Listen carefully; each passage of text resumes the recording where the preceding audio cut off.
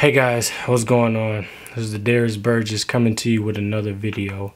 And basically in this video, I'm going to be addressing some questions a, a guy had. And basically, I'm pretty sure more people have um, pertaining to uh, certain roles in Amazon Fulfillment Center and basically like uh, like how their system works as a whole. So basically, in the last video, uh, the first thing I'm going to address is the P P PTO, paid time off.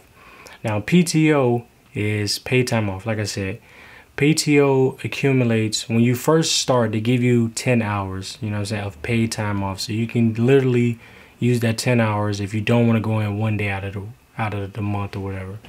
And over time now when I was when I started back in March or whatever, they were giving us like three hours every time we got paid. So that time adds up quick. You know what I'm saying? So it goes from you having 10 hours to before you know you got about 30 hours. You know what I'm saying? Depends on how often you work. So that's PTO.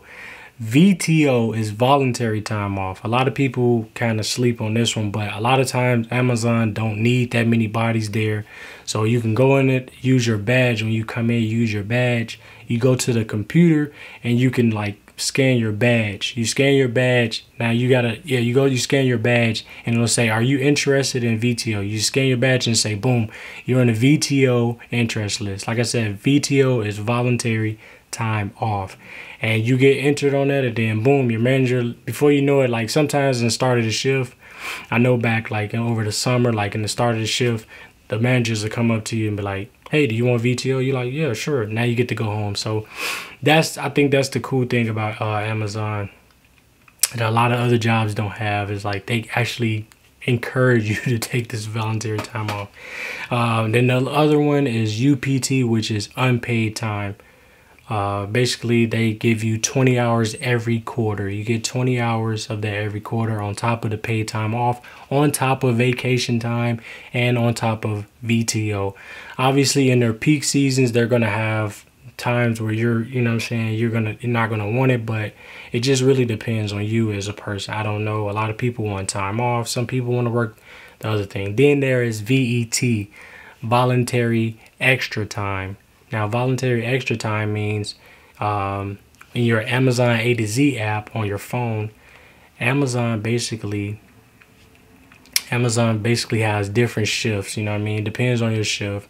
Uh, the fulfillment center I work at, you know, there's the morning and, and, the, and the night shift. So if you want to take a morning shift, if you're on the morning shift, they'll give you one. So let's say you work four days, you know, four 10 hour days, and you have three days off.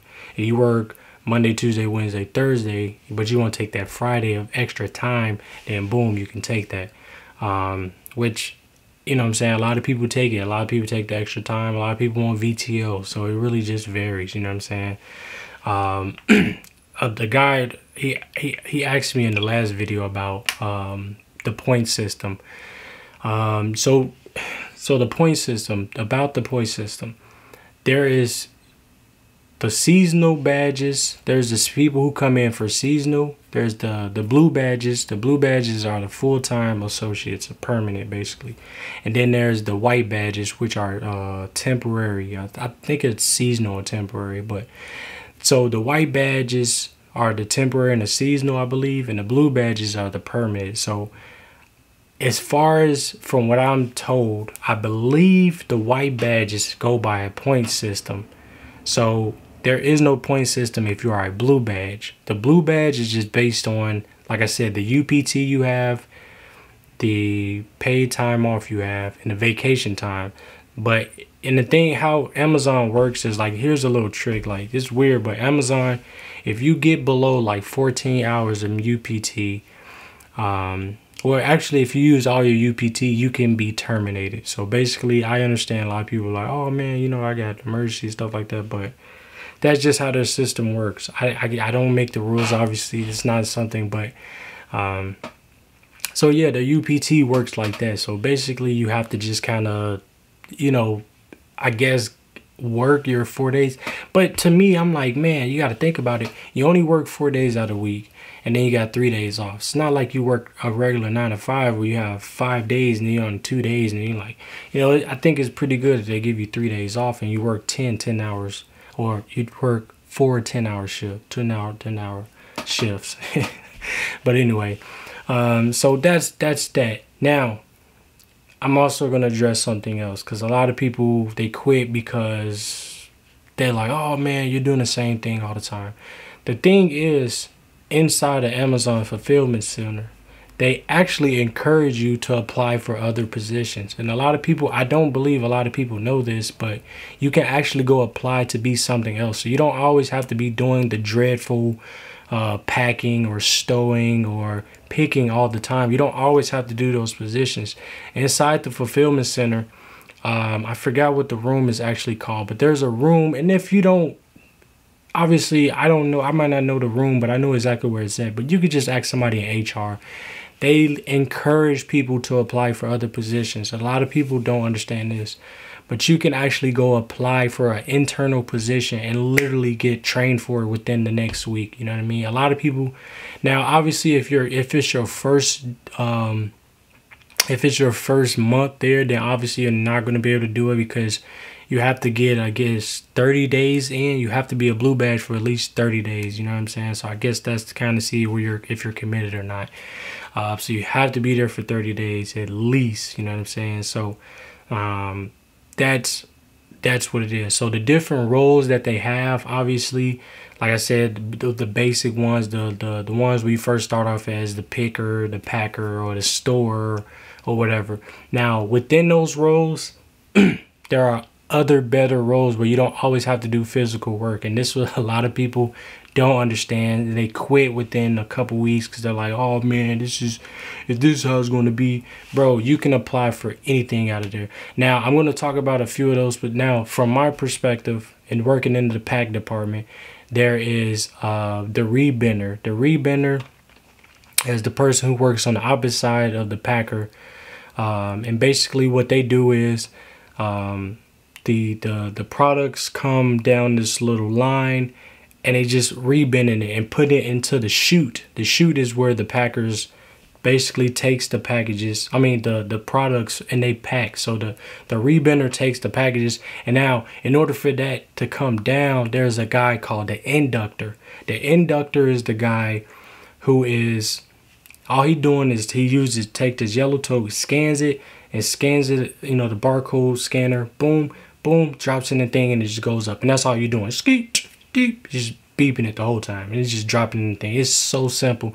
Rebinning and inducting is probably like I believe in pack station or the pack department is probably the easiest one out of there.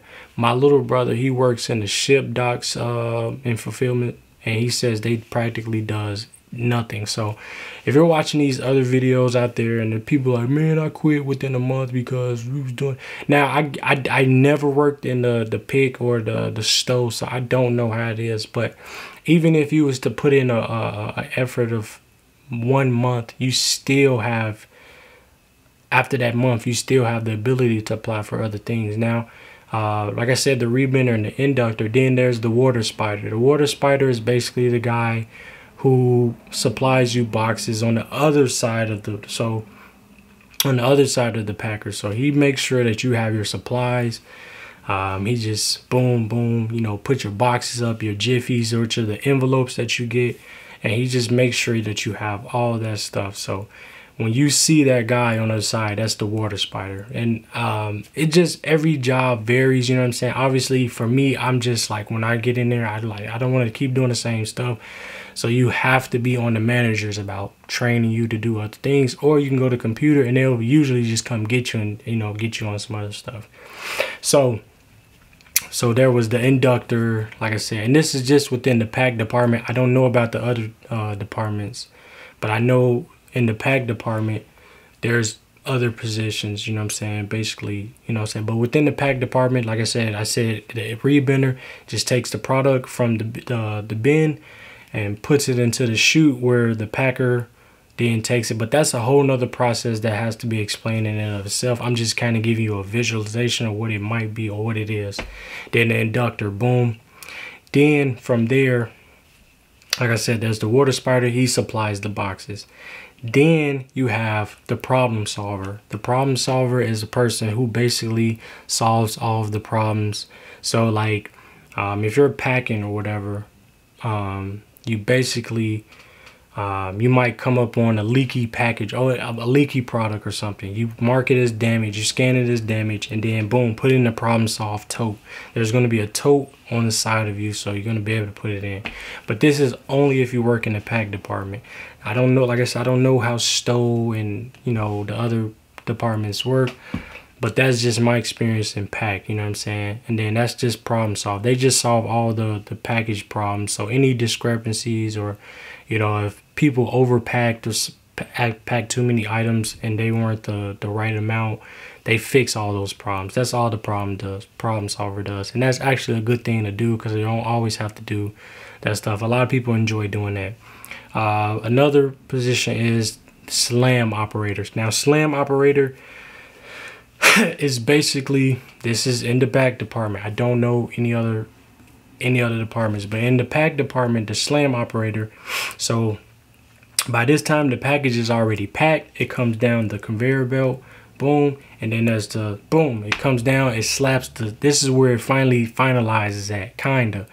But it has, when it gets the, the address uh, postage on there, boom, or whatever, that's what the, the slam operator offset uh, does that. But where where the slam operator comes crucial at is because he fixes the problems, or he or she he fixes the problem that goes on with the package. So sometimes people might have put too many, like I said, it's they're they're kind of the same as the problem solver, but the problem solver does not work at the slam spot. They work at the problem solve because they have a lot more other stuff they have to do within the pack department. So the slam operator is just kind of catching that package before it finalizes. You pick up the package and it, it'll like literally the machine will kick it out to you and then you just have to basically open it up. And sometimes for instance, like the the package might call for like one bottle of water, right? But because the same barcode is in a, a, a 12 package or whatever, right? That same barcode, somebody, whoever, somebody messed up down the line because they were supposed to get that, quantity right, but they messed up and they sent out a case instead of just sending out one bottle of water. So the packer, he doesn't know because a lot of times they don't pay attention to the screen. And what he does or he or she does is they'll scan the whole thing and just drop it in there without looking at the screen that actually calls for one. But instead they put a 12 ounce and a 12 pack in there. So you see what I'm saying? The slam operator just catches all that. The machine say, hey, you need to fix this package because it's whoop the bam. And basically you have to just say, hey, it's too many in here basically and uh, the, the the slam operated computer just say hey it's 12 it's supposed to be 1 and not 12 i'm sorry i kind of got lost a little bit. Um, then within the part department there's other things like process guide process assistant. Uh, you can apply for these positions.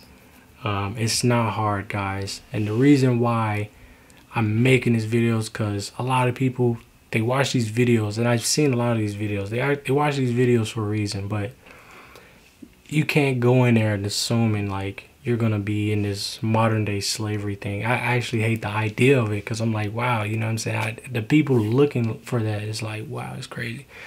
But you're not in there to, to just work, work, work, work, work, work, work you, till you break it yourself, you know.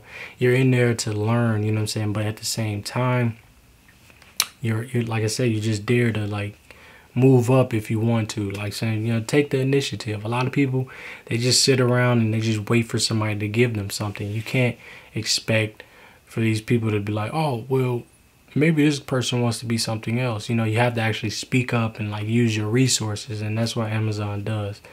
Um, but also, now that we got to that part, um, I didn't explain the health benefits. Um, the health benefits basically you have to pay for health benefits. They give you a sheet, you apply for health benefits.